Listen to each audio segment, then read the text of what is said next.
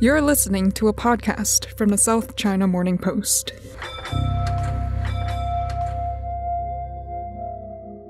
但即使是以卵击石、飞蛾扑火、自取灭亡的我，也会说出和你的事实。And in English, even if it's like striking a stone with an egg and courting self destruction like a moth to the flame, I will tell the truth about you. These are some of the final words used in a post on Weibo, China's version of Twitter, on November 2nd by Peng Shuai. Three weeks ago, maybe you had no idea who she is. But now, there's a very good chance you know some of the biggest stars in tennis Serena Williams, Naomi Osaka, Novak Djokovic have been on Twitter over the past seven days asking just one question Where is Peng Shuai? And now the governments of the United States, the United Kingdom, and the European Union, and more have added their voices calling for her to be allowed to speak freely. At the same time, Chinese state media have been using Twitter, which is banned in China, to try and say the opposite. They are posting photos and videos which essentially say, Here she is, she's fine.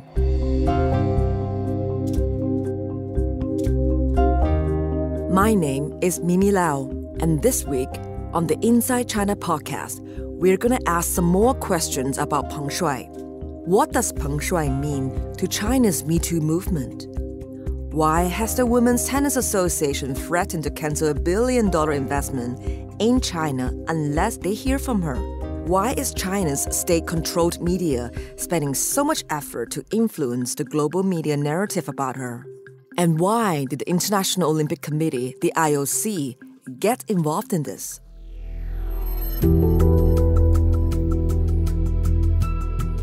Let's start with the content of what Peng Shuai posted on Weibo and why no one can find any mention of it, either on Chinese social media or anywhere on the other side of the Great Firewall that separates China's netizens from the World Wide Web. Who is the person she wanted to tell the truth about? Peng Shuai laid an accusation in her heavyweight Weibo post on November 2nd against former Vice Premier Zhang Gaoli. In it, she accused him of coercing her into sex several years ago. Zhang Gaoli was one of the seven most powerful leaders of the Chinese Communist Party from 2012 to 2017, and one of the seven members of the Politburo Standing Committee. Basically, it's the most powerful committee in the Beijing government. Also, Zhang served as the head of the Beijing Winter Olympics Working Group from 2015 to 2018. And if you would just do a Google image search, it's easy to find a photo of him shaking hands with Thomas Bach, the president of the International Olympic Committee in 2016. While Zhang is also known for keeping a very low profile and rarely makes public appearances or speeches. So it's not a surprise that Zhang has made no public comment in response to the allegation.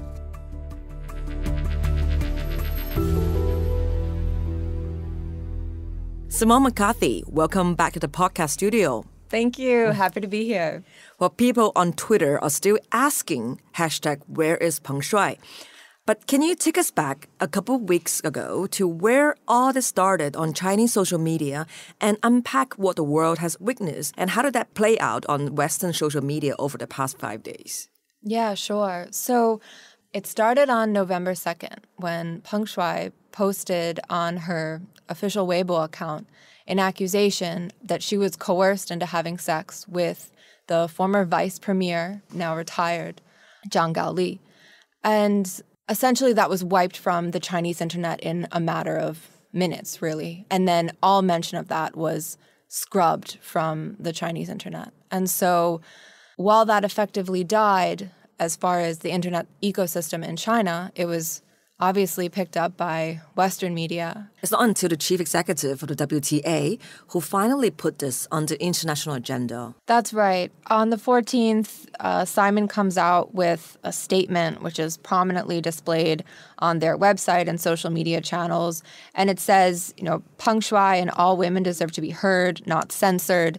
It calls for um, it calls for a, serious uh, investigation into the accusation, um, and it also just says that you know, as as a women's tennis organization, we expect equality for women and respect for women. So that really does spark then an outpouring of a number of athletes, uh, high profile tennis stars and others, and as well as other tennis organizations coming forward. And um, and then the the hashtag Where is Peng Shuai also beginning to to take off.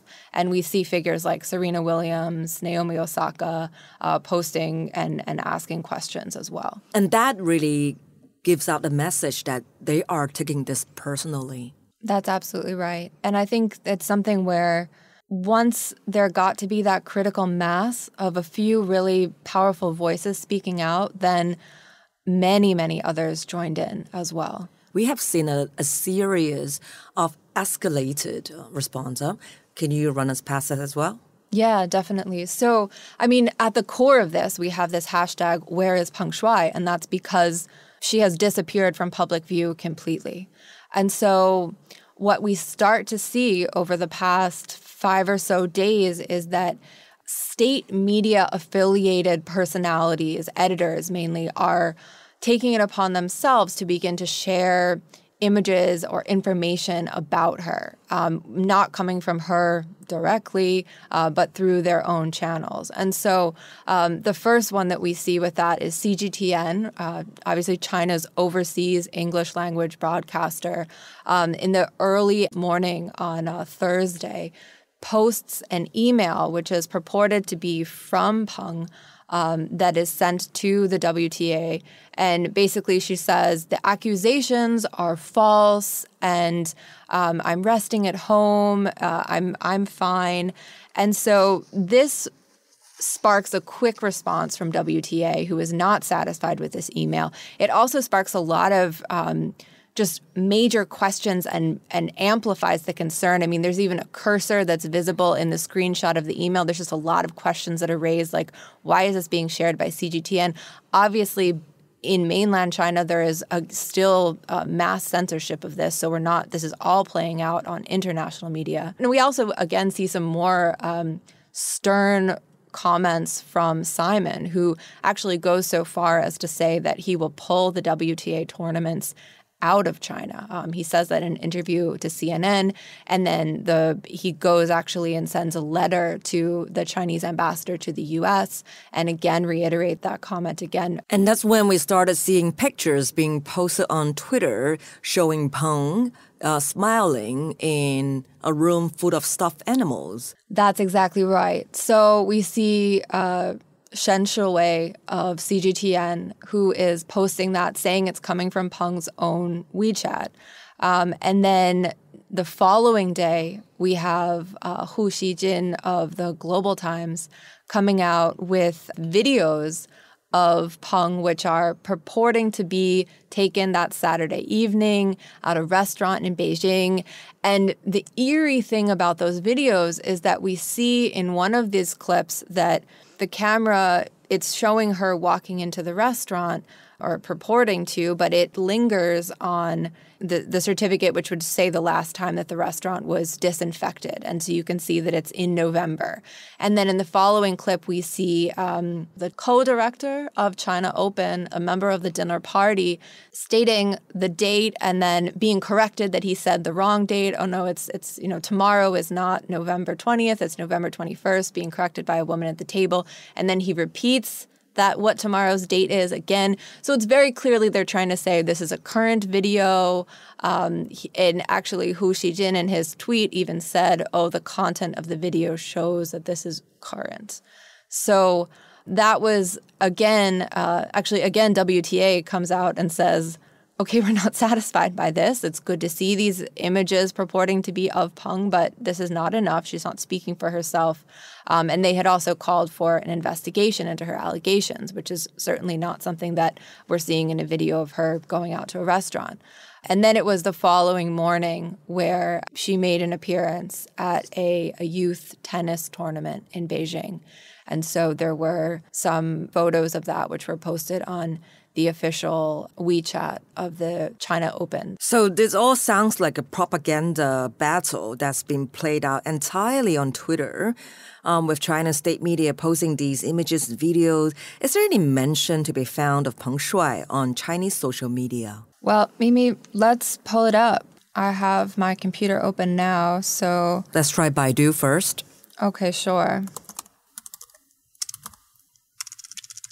Baidu is equivalent to Google in the US, and Weibo is the equivalent of Twitter in China. Tell us what you found. Okay, so when I search Peng Shuai on on Baidu, basically there are there's a full page of results here, but they're from 2012, 2010, 2013, 2017. They're all um, her various tennis victories, and there's nothing remotely recent um, on this page. And then when we go over to Weibo and run the search and look for her personal account or mention of her, let's do personal account first. There's no results found. And then when we look at all the results, we see just one come up, um, which is from this month. The French embassy has a has a statement here. Nothing before that. What did that statement from the French embassy say? It's a Q&A here and it basically asks if the French government has concerns about the safety of Peng Shuai. And the answer is that yeah, they are concerned about the lack of information, and the international and sports communities also express concern. So, is there any response officially made by the Chinese government? There was silence up until this week following the IOC call. And at that point, we had um, China's foreign ministry spokespeople um, in their regular scheduled media briefings, basically saying yesterday that she had attended public activities recently, and then that uh, certain people should stop the malicious hyping of the issue. And those are as reported by Reuters. But we have yet to, as an international public, we have yet to hear Peng Shuai herself speak.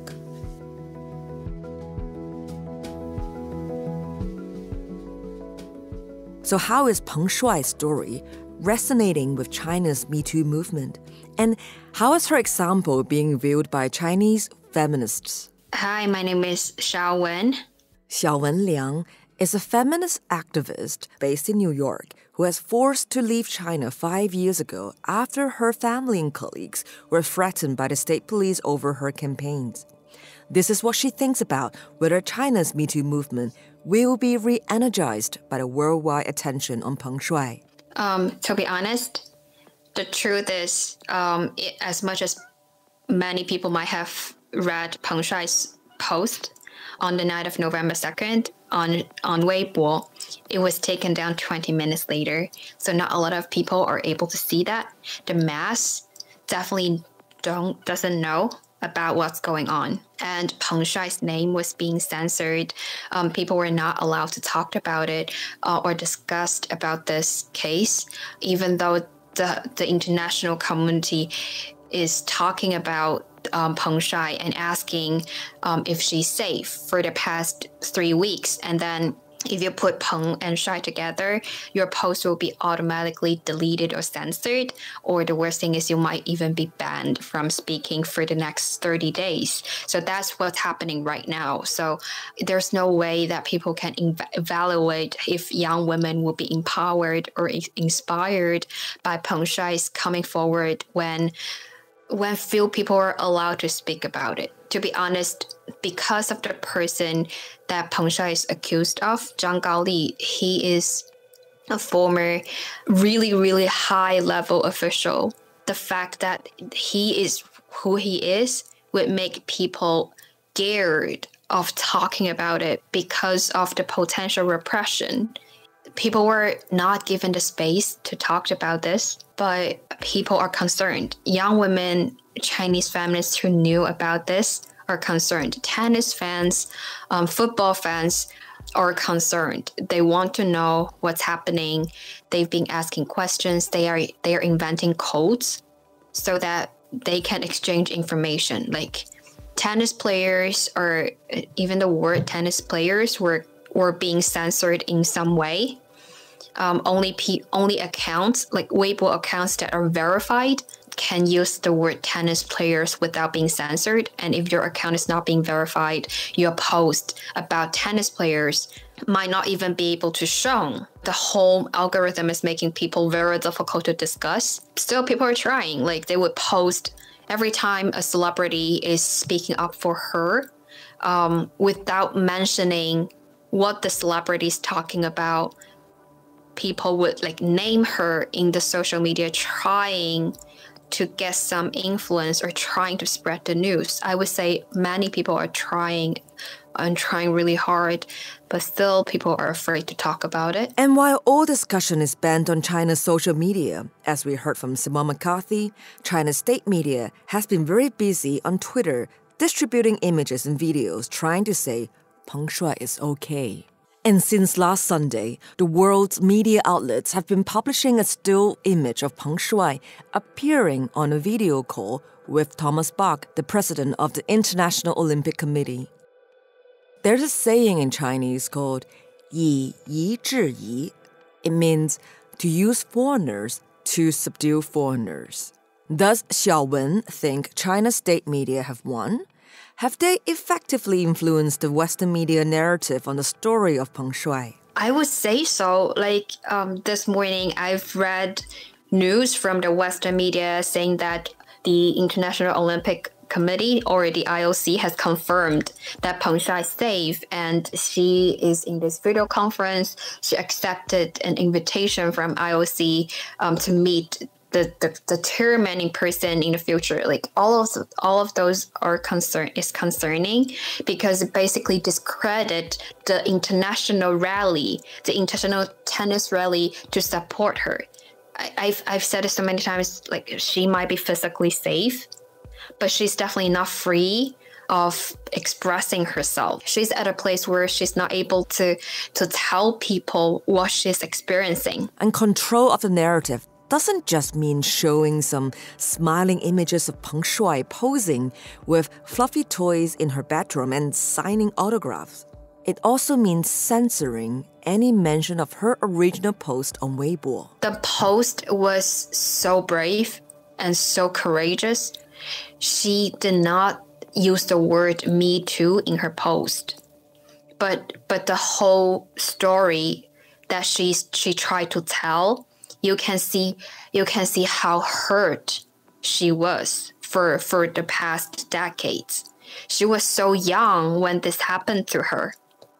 And she even used the word love to describe this relationship.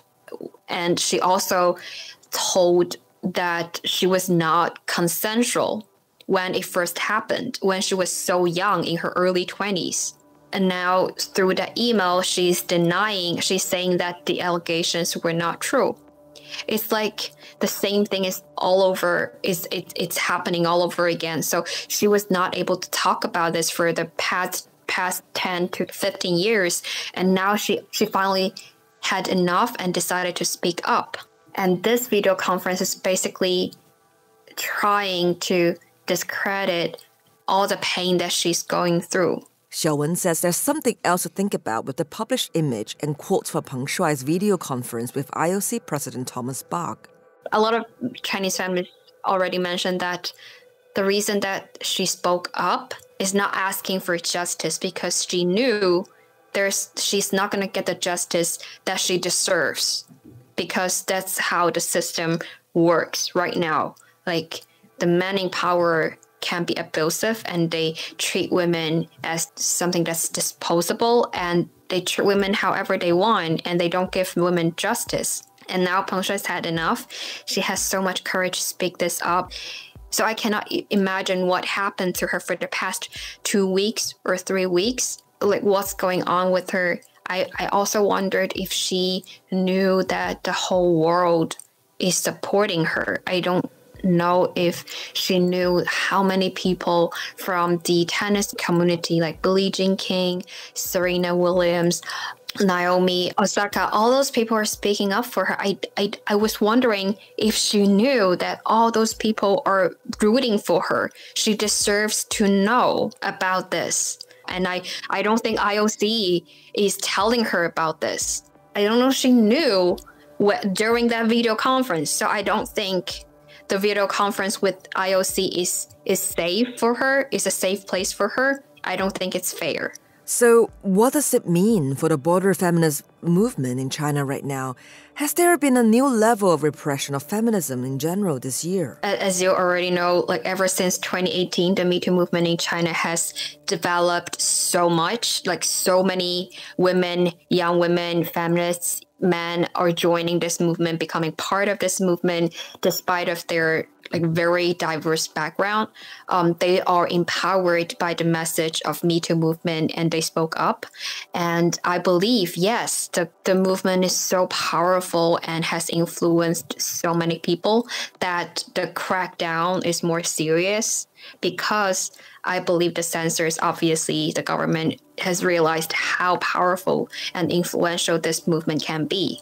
Peng Shuai's story is just a testament to how influential and powerful this mo- movement are to young women and women in general. Uh, for the past year in 2021, one of the things that we witnessed as feminists, like Chinese feminists, is that not to mention that the offline physical campaigns are almost like very, very difficult and dangerous to do. The online campaigns are more and more difficult as well. For example, um, in the case Xianzi versus Zhu Jun, um, Xianzi is a very active and influential Me Too activist who brought a lawsuit against the CCTV host, a state-run media host of sexual harassment.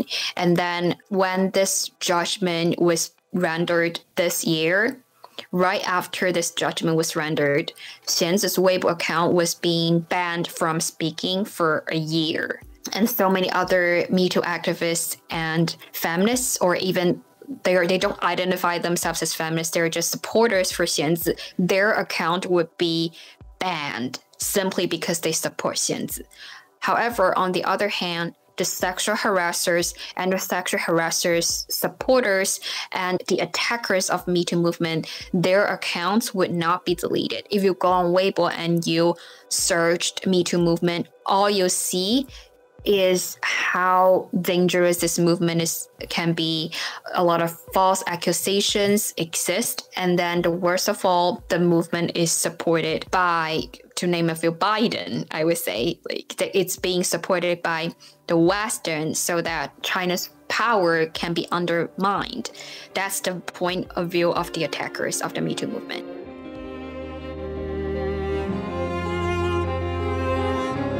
The pushback the portrayal of Me Too as a foreign attack on China, and the repression by online bullying of women wanting to share the Me Too stories on social media in China has increased significantly this year.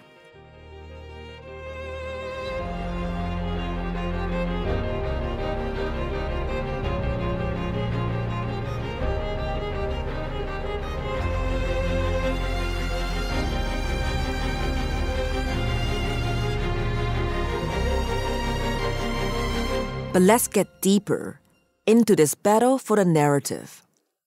Yesterday, China's foreign ministry made its formal response, where foreign ministry spokesman Zhao Lijian issued a statement about Peng Shuai in his weekly media briefing.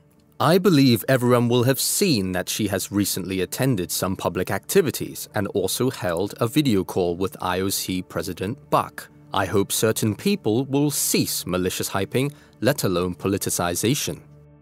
Hype, politics, but nothing of the original accusation. So, let's get a bit deeper into this battle for this thing called the narrative. not telling you what to think, but telling you what to think about. Peter Lorentzen is a professor who specializes in the economics of information as well as researching governance and social control in China.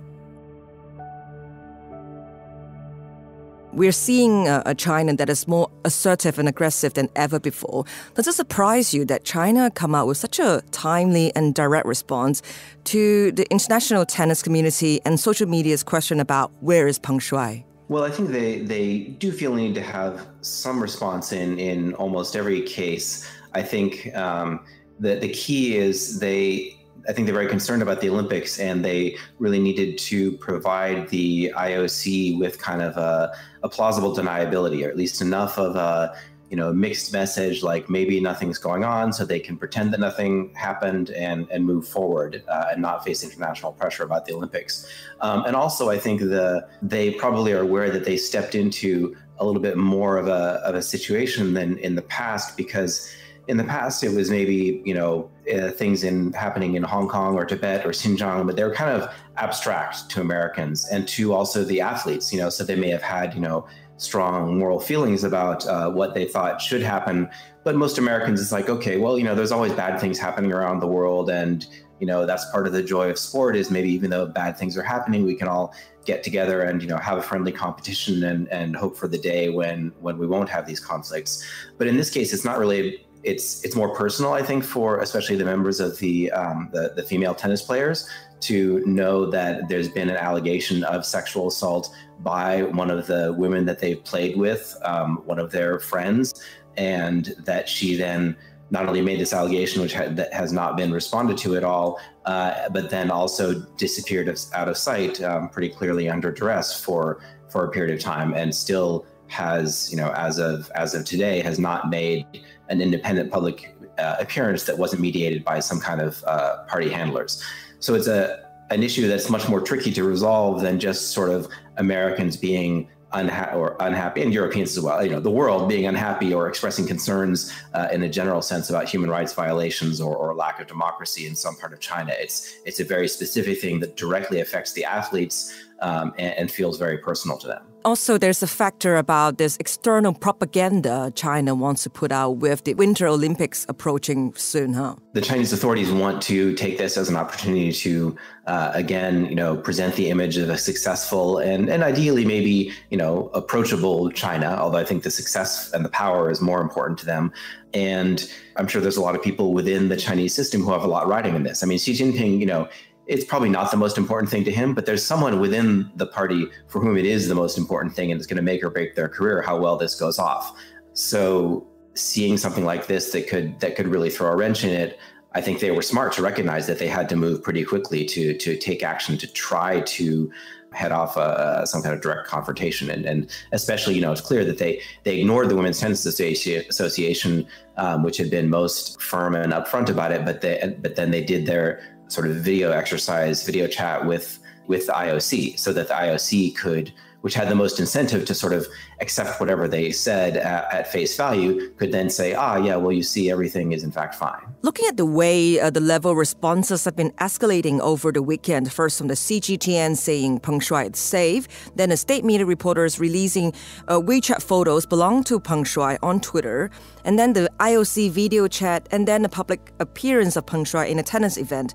How do you see China is trying to, you know, throughout this process, trying to control the international narrative over this incident, and how effective has that been? I think for the people who who understand China or who are following the case very closely, there is very little confusion, but that is probably not their goal. I think their goal is to have that plausible deniability so that the you know again that the IOC can go ahead with the Olympics and say that in fact everything's fine and you know you know we don't have to worry about this and also and other you know international governments like who are you know they need to think about do we want to be the one who's pulling out of the Olympics or, or challenging the Olympics? Because the Olympics does have this, you know, admirable tradition again of being the place where we come together and we compete in sports and we root for our own side, but you know we are doing so in a peaceful manner and uh, the hostilities are, you know, sublimated into into redirected into sports as opposed to you know more harmful conflict. And so you know there is something to be to be celebrated in that. Um, but then, of course, the tension is then, you know, are we validating, uh, you know, a regime or, or a set of actions that, that we view in, is fundamentally in contrast to our values? And, and sometimes which one of those matters can can change in in different times. So so they felt like they had to give um, so the external propaganda. So one is to to give that kind of excuse, and then also for the IOC, and then also I think for um, you and I and people listening to this podcast are probably following this issue closely, but people who aren't, for them, you know, something else will enter the media or maybe they you know weren't even listening to the news this week. They were in america and just focused on thanksgiving and you know whatever. Um, and so they weren't really paying attention. And then later they might hear about it. And the key thing is they'll say oh well some you know some female tennis player made some kind of accusations in china. But then you know and people thought this is this is what they want people to think.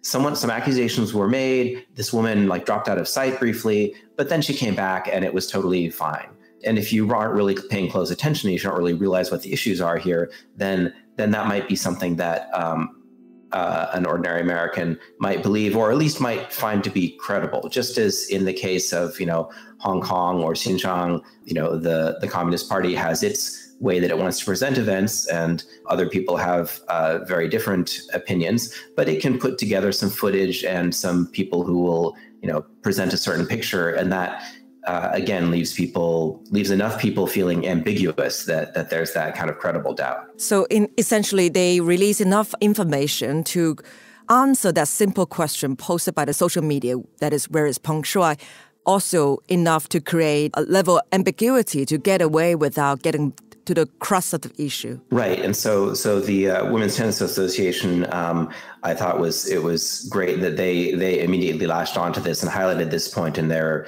uh, reaction to the the IOC um, staged event. They said, you know, okay, you've shown that she's most likely alive, but that wasn't really the question, you know. I mean, and you said, where is she? Okay, she is you know, in a room with stuffed animals and with some people who appear to be friendly with her, and and she's smiling. And um, yeah, there was one of one of the I forget which uh, one of the Global Times Twitter commentators or something. It's like, look, she's smiling, and women can never smile if they're not actually happy. Which um, I don't know. I guess he doesn't have many women who speak with him honestly, because I've heard actually many people, men and women, are very good at smiling when um, they're under great duress. And in fact uh, you know, many Chinese people have had to, you know, historically have had to smile through an awful lot of uh, things. Um, you know, and that's uh, so. So, the, but you know, again, they're just trying to put out this narrative to to get it out there. That's Peter Lorentzen from the University of San Francisco. But let's turn back to the central character here, Peng Shuai and the professional sporting body that has been instrumental in keeping her welfare and her story on the international news agenda for the past two weeks. Josh Ball is deputy editor of the sports desk here at the South China Morning Post.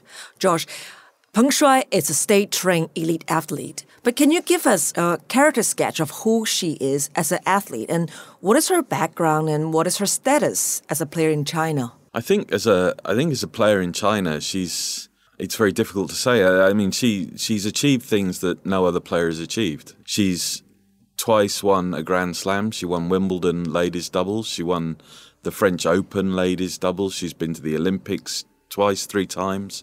You know, she's won multiple tour events. She got to 14th in the world as a singles player. She's beaten Williams, Sharapova. This is this is she's an exceptionally good tennis player. She's not just an average tour player. She is someone who had was the face of Chinese tennis for a long time. So she is she is absolutely someone who has been out there. She's well known. You can't. There was a time in China when tennis was her and she was tennis. So it's very much a it, has been that kind of relationship for a long time. An icon. Yes, yeah, very much so. I think icon is a is a good word. We overuse it sometimes, but I think in this instance it absolutely applies. So, Josh, uh, much has been made about the Women's Tennis Association, the WTA, taking a harsh stand on behalf of Peng Shuai. This would appear to be at odds with his plan for expansion in China. What sort of investment have they got in China at the moment? Well, I mean, they, they moved the the finals of the, the singles tour to Shenzhen, and this was going to be this was going to be a massive investment. It, it was estimated that there was going to be something in the region of about a billion US generated by this investment. It enabled them to increase the prize purses. The women actually for the fight, the WTA finals were going to earn more than the men were because of this kind of investment. And it, obviously, China is a massive market. And if you are any sport, if you can crack the Chinese market, it increases the revenue that you have and allows you to do so many things with your tour throughout the rest of the world. So for the WTA, getting into the Chinese market opened up so many doors. I mean, two of their main sponsors are Porsche and SAP, both of whom have massive presence in China. I think for Porsche now, it's their largest market. They're talking about building factories there. So everything really was tied in with this push into China. There's supposed to be 10 tournaments in China next year. The calendar hasn't been released yet, but that was what they were talking about. So there's a, again, it, it's deeply ingrained, or they were trying to become deeply ingrained within within China. Did you think it was at odd in the comment attributed Peng Shuai that she thanked the IOC, the International Olympic Committee, uh, in that video chat, but had no words of thanks for the WTA, who had been so vocal about her welfare? Um, I think it said a lot for the situation that maybe she found herself in. I think that there were a lot of questions to have been asked about that entire setup. Uh, I know that a lot of people have raised questions about it. I know the IOC have taken a lot of flack for it because, in some regards, it may well have been seen as you don't want to use the word pandering to um, to to China, but the IOC certainly has a conflict of interest because of the Winter Games and because of everything else that follows from it. Um, so yeah, I think the fact that she didn't mention the WTA, that she didn't acknowledge all of that, uh, said a lot without saying without saying anything at all. To be honest. Uh, can, can I get you to talk to us about the significance of the IOC being brought in in this situation and and, and to issue one photo of Peng Shuai having uh, uh, uh, uh, to, and to issue a photo of Peng Shuai on a big screen, um, talking to people in a room in Beijing in a video chat that we never get to hear her own voice. So I, I think we I think we need to go back to when this all started, and the uh, the IOC were very reticent to say anything uh, apart from talking about quiet diplomacy, and, and this has always been the uh, the way the IOC operates. They they're very hesitant to ever get involved in anything that might be deemed to be mm, morally right, shall we say. Um, but I, I think that this maybe this was what they thought was quiet diplomacy.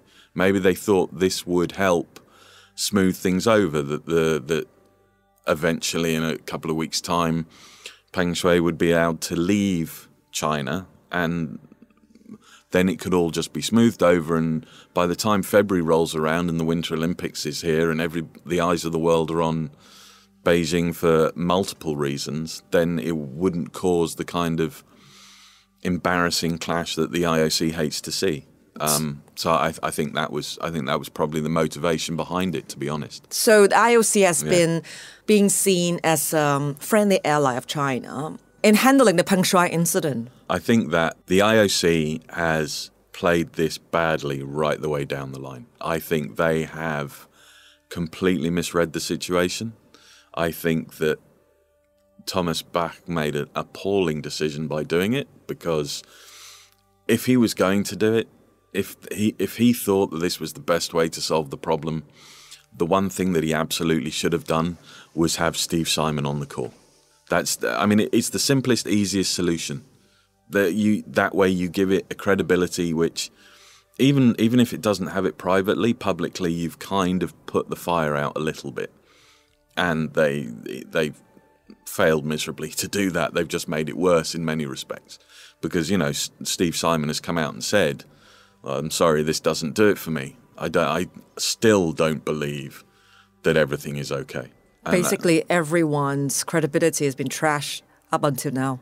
Yeah, pretty much. I think so. I think the only, it, amazingly, and it doesn't happen very often. I think the only people who've come out of this with increased credibility are the WTA and some of the female tennis players. It, it's a you look at their response compared to some of the responses from sports organisations in the past, and it's it's ethical, it's moral, it's almost unheard of in many respects. That's quite a contrast um, to how this has played out uh, so far compared to what happened with an NBA uh, general manager who tweeted a comment about Hong Kong two years ago. No, absolutely, it has. And I mean, you know, Daryl Morey, the Houston Rockets GM, it was, I mean, it wasn't an innocuous tweet, but it was a, it was a supportive tweet given what was going on in the city at the time, and uh, the NBA were falling all over themselves to put that fire out. The the owner of the Rockets,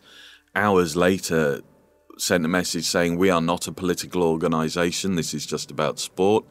LeBron James, obviously, very famously, got himself dragged into it by saying people should think before they tweet, which for the the best player potentially of all time and certainly of the last 10 15 years to say something like that carries some weight i mean he suffered some backlash for it because previously he'd he he had a very interesting tweet in January 2018, and he tweeted a, a Martin Luther King quote. And what he said was, "Our lives begin to end the day we become silent about things that matter."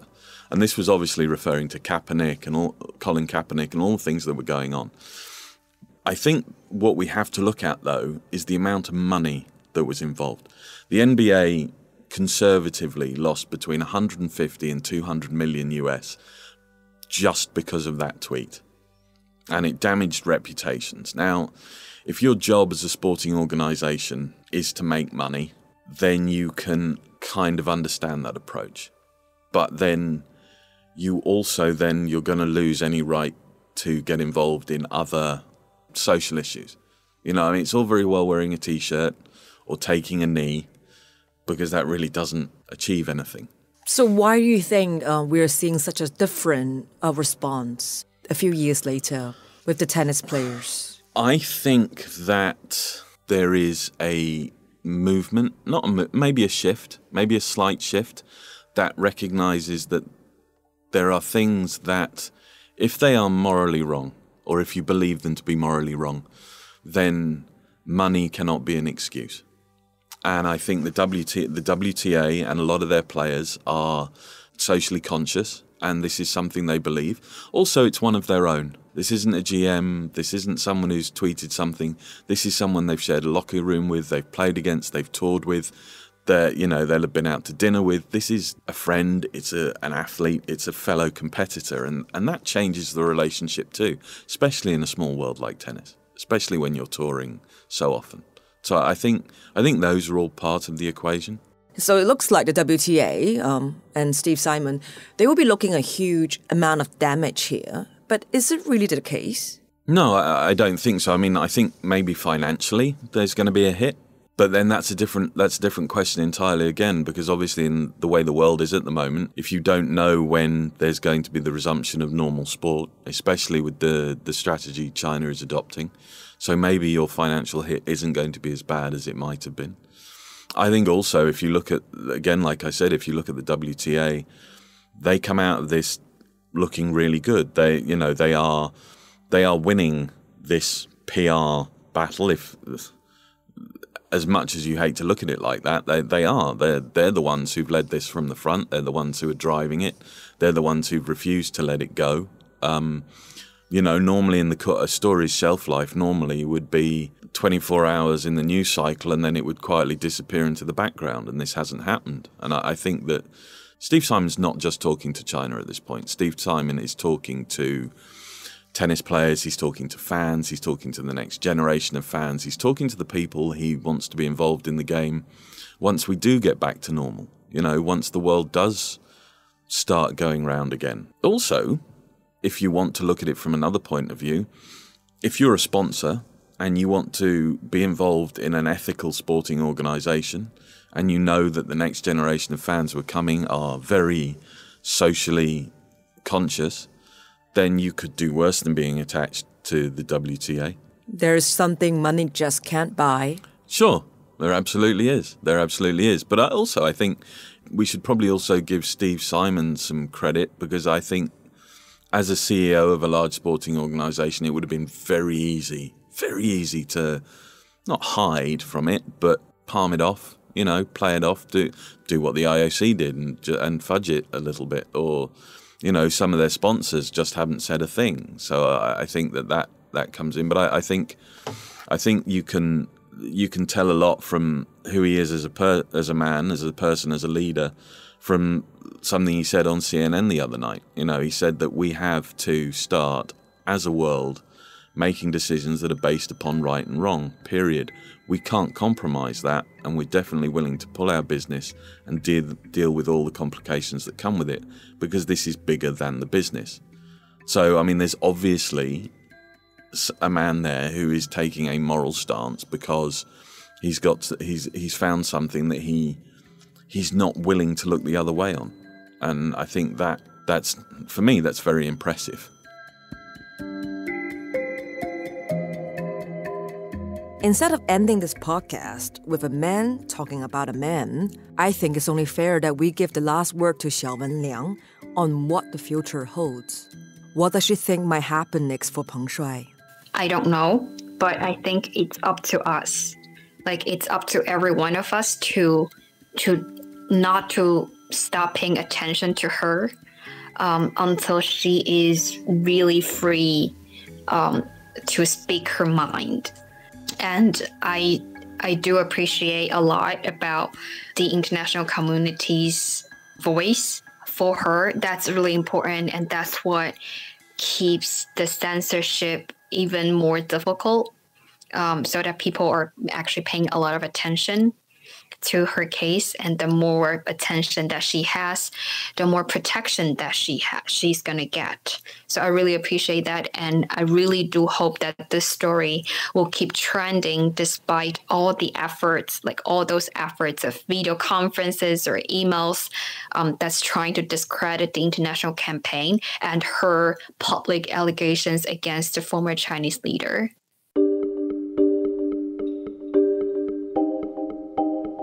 Very often on this podcast, we tell you there's more to come on the story and to stay tuned for more development. Perhaps like no other story we have done this year, there are many more developments to come. It's no longer just where is Peng Shuai. How is Peng Shuai? Can we hear more from Peng Shuai? Can she talk freely? Will this affect the Beijing Olympic Games in February? You will read the latest developments and get the best analysis from me, Simone McCarthy, and the China desk, as well as Josh on the sports desk at the South China Morning Post and scmp.com. My name is Mimi Lau. Find me at Twitter at GZMimi. Talk to you soon. Bye bye.